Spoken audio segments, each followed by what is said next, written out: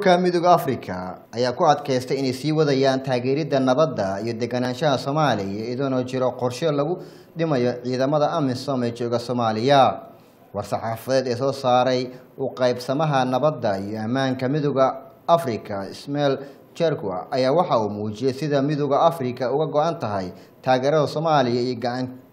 laga siiyo in inay gaarto yoolka ee higsanaysa ee qorshaha wakhtiga kala guurka soomaaliya hadalka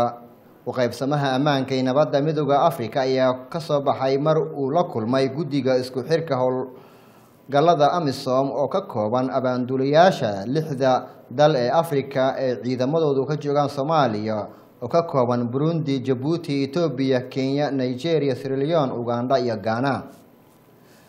sida uu sheegay midooda africa waxaa ciidanka amisom laga dhimayaa kun askari marka la gaaro sidii labaatanka bisha februaayo ee sanadka labada kun iyo labaatanka taasi oo qeyb ka ah istaraatiijiyadda bixitaanka amisom